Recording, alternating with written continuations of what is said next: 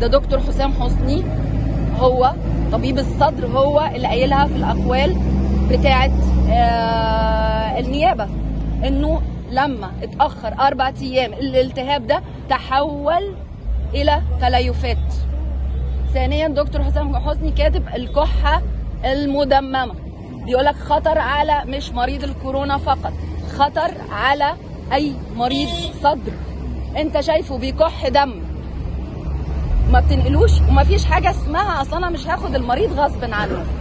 ما فيش حاجة اسمها كده. في حاجة إنه الطبيب بيصارح المريض أو اتصل بيا وقول لي مش أنا كل ما اتصل بيك تقول لي لا ده كويس وبطمنك عليه وبياكل كويس بيشرب كويس ولما هنعمل PCR هتطلع النتيجة سلبية.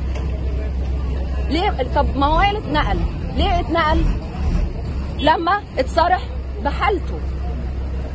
فوائل هو اللي نقل نفسه مش هو اللي نقله. وائل هو اللي اتصل بدكتور عوض وبعتوا له دكتوره هاله زايد واتبعت له عربية الإسعاف. يعني أنت لا تصرفت ولا عملت حاجة وتقول أصل أنا مش هتخلى عن المسؤولية. لا المسؤولية كانت تيجي تقول للمريض أنت هتموت. لازم تتنقل المستشفى. المريض رفض. قول له شكرا شوف دكتور غيري. هي دي المسؤولية. انما مش بعد يعني دمرت مريض ودمرت بيت وشفنا جحيم سنة بالكامل سنة بالكامل. إحنا والبنت دي. ماشي؟ البنت دي نفسيتها انهارت. مستواها الدراسي نزل. سابت مدرستها. اللي هي كانت فيها عشر سنين ونقلتها مدرسة تانية. ومش شايفة أبوها اللي هو كل كانت متعودة عليه. كل يوم بتدخل عليه بتقعد معاه. مش هو ده أبوها. أبوها مريض وبيحاول إن هو يستعيد صحته. وبعد كده اتيتمت وجاي تنشر علينا إشاعات إن إحنا بقى التزمت صمت لحد ما نشوف التحقيقات عملت إيه. مش تصدر شائعات. وبعدين دي مسؤوليتك أنت. إحنا ما بنفهمش في الطب. إحنا ما درسناش في كليات طب علشان أعرف أقرأ أشعة مقطعية.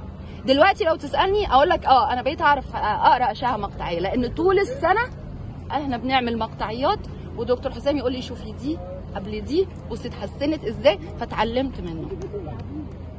فندم هل في موقف شخصي يعني ما بين حضرتك وبين يعني الطبيب المعين على فكرة على أساس إن أنت لحظة واحدة. وائل ما كانش يعرف. لأن أول ما وائل بلغني إن هو عنده كورونا قلت له طيب كلمت دكتور حسام حسني يا وائل. قال لي لا ده هم في حد وائل هو يعرفه. بعت له دكتور قلت له اسمه إيه الدكتور ده؟ قال لي ما أعرفش. لما هاجي هعرف اسمه. هم قالوا له ده دكتور وبيعالج فلان وفلان وفلان وفلان. يعني لا أنا أعرفه ولا أنا عمري شفته شخصيا على فكرة ولا وائل كان يعرفه. ماشي؟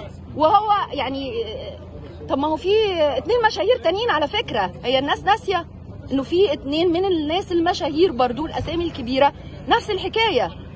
طب لما دول ثلاثة عند ناس الطبيب. موجودة في التحقيقات. أنا ما بألفش كلام موجودة في التحقيقات. لما دول ثلاثة ومعروفين. طب الناس ما سألتش نفسها الناس اللي هي مش معروفة حصل فيها أنت مشاهير.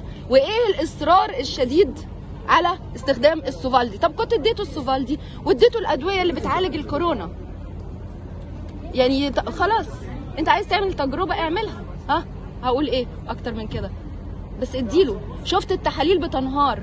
ودي تحاليل دي ما فيهاش كذبة.